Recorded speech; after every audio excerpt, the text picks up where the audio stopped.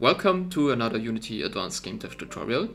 So I recently have been asked on how I created this crevice for one of my screenshots on Twitter. And so that is why today we are going to take a look at a simple splat map shader for blending together different textures. A splat map is a texture like every other texture, except that we do not use it for rendering, but for selecting the texture we want to render. So for example, the red areas here correspond to the rock cliffs, the green areas correspond to the lava flowing down and um, alpha is corresponding to the sand at the floor. And we can also blend and mix them together to create uh, transitions between these. There are essentially four reasons why you would want to use a splat map terrain instead of a normal terrain. Uh, the first reason is if you want overhangs or caves. This is not possible with the normal Unity terrain, but you can do it with a mesh of course. The other reason is that you can rotate a mesh, which you cannot really do with a terrain. You can fake it with a terrain by adding terrain holes, but it's far easier to work with meshes in these cases. Another advantage of using mesh geometry for world terrain is that you can add local details as much as you want. So you can uh, select a patch of the mesh and uh, subdivide it as much as you like to add detail.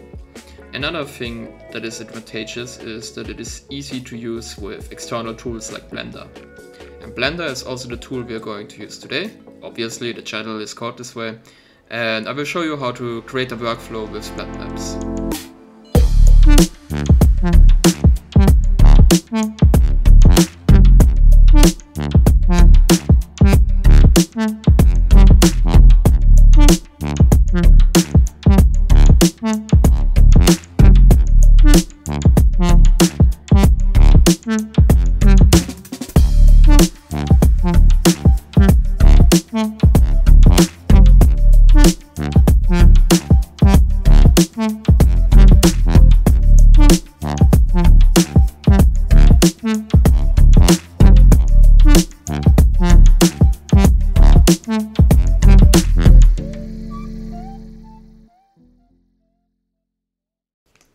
To recap how to create a volcano like this, you simply start with a plane, then you subdivide it a bunch of times uh, using proportional editing for large features, and then you go to sculpting mode and add some smaller details with the paintbrushes.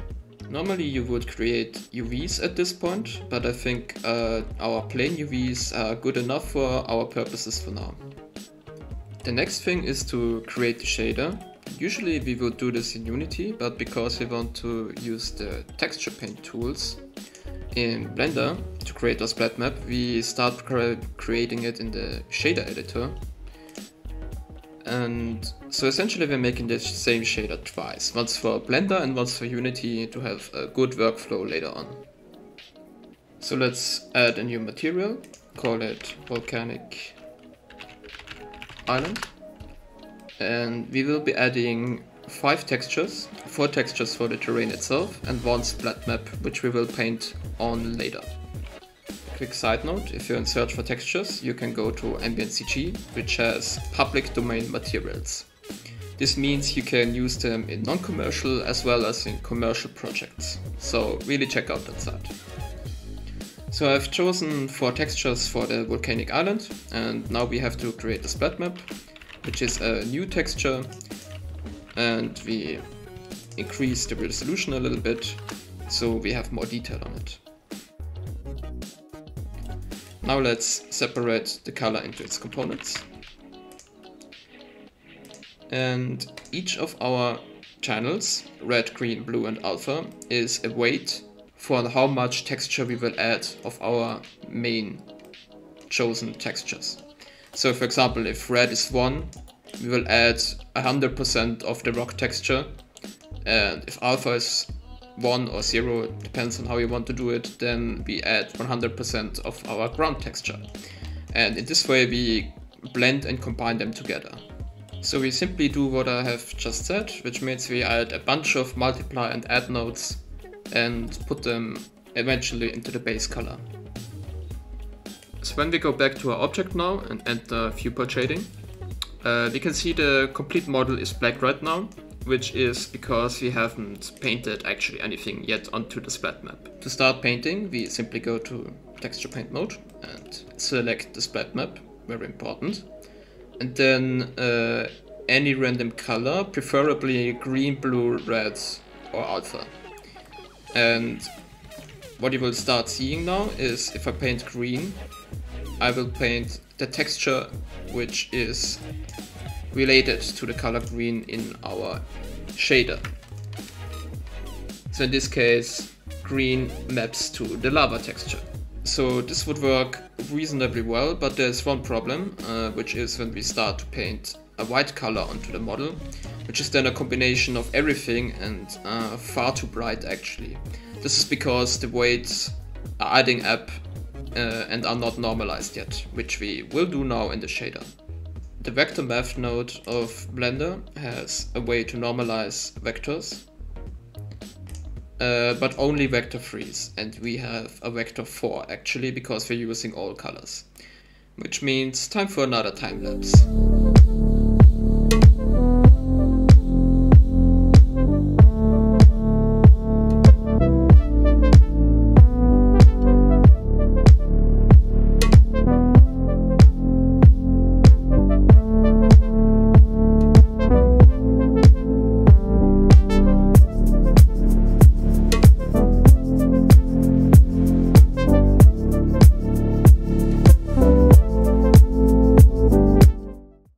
It still looks kind of the same, which is because I'm using uh, very bright textures and very dark textures, but it's working correctly now.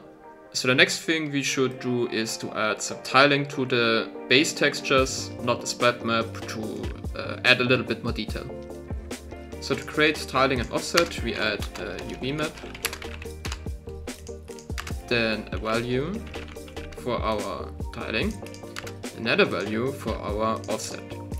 We initially start our tiling with 1, which is the default, and we choose the UV map we already have. Then we multiply the UVs by the value, by our tiling, and then we add an offset with an add node. And this result goes into the vector here, and if we change this value here now, we can see uh, the tiling is increased and we can add an offset as well.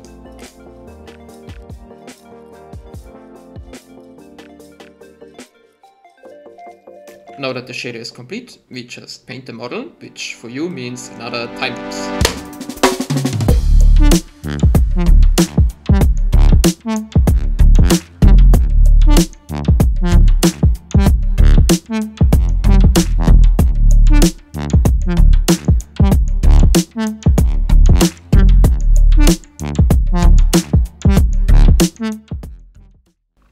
So this is uh, good enough for now. Um, this is also all we have to do in Blender.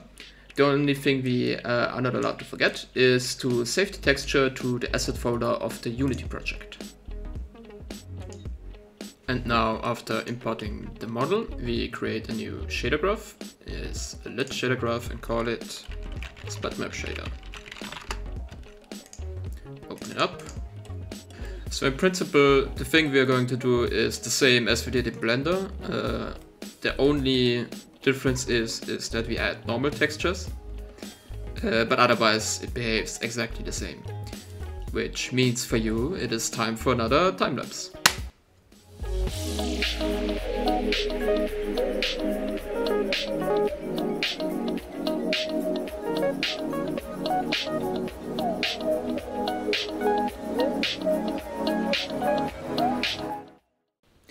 So here we are sampling our two textures, uh, the base texture and the normal texture, unpack it and multiply the strength also with a normal factor.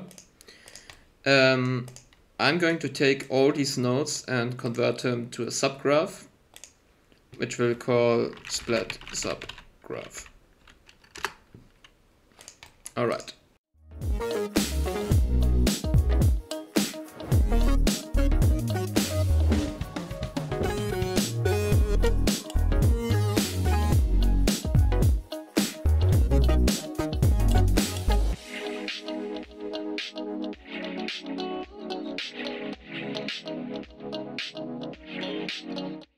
So I made a small mistake in the video. Um, you have to first subtract alpha from 1 before you normalize. So you split up the colors, then you subtract, then you combine it again, and then you normalize, and then all the values are correct again. Now that the shader is done, we create a new material. Volcanic island material.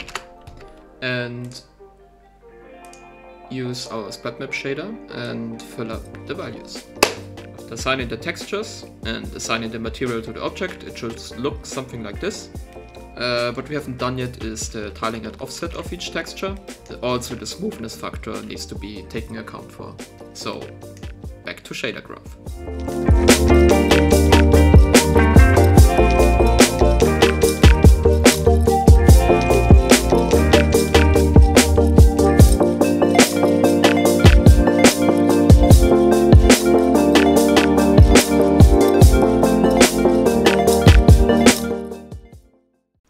Adjusting the values a little bit here, um, your object should look a little bit something like this. You will also notice that there are some issues with the transitions. It doesn't look as smooth as it does in Blender. This is because of color conversions, which we also can fix in the shader graph. So all we have to do is to add a color conversion node and go from RBG or SRBG to linear space then split up this again. Add it here. Remove this node and add alpha directly to world minus. And now the transitions are a lot better.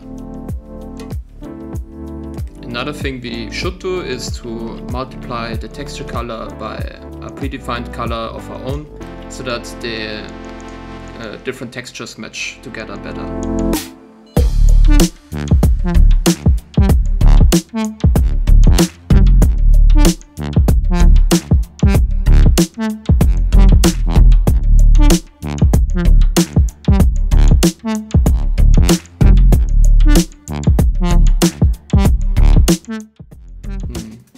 My normals are weird. Beginner mistake. Alright. So this is our final splat map shader. There are some issues compared to regular Unity terrain.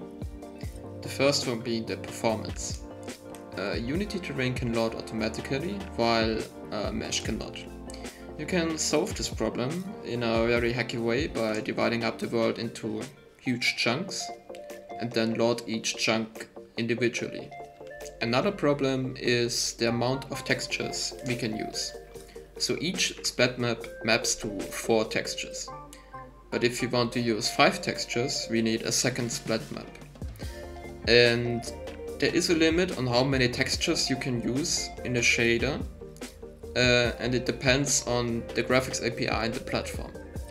Unity solves this issue by adding multiple passes, but in a shader graph you only have a single pass. You can export the shader graph into an HLSL file and add multiple passes yourself, but it is a little bit complicated.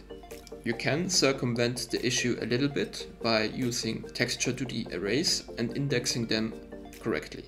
You will however then have to simulate the behavior in your external tools and your external shaders as well. So summing up, you should use the splat map technique uh, for smaller areas and not for huge worlds. Islands are a very good example for where splat maps are advantageous. So thanks for listening to this monologue about uh, the disadvantages of splat maps. Um, as always, thank you for watching and leave a like, leave a follow. Most importantly, buy my Unity assets.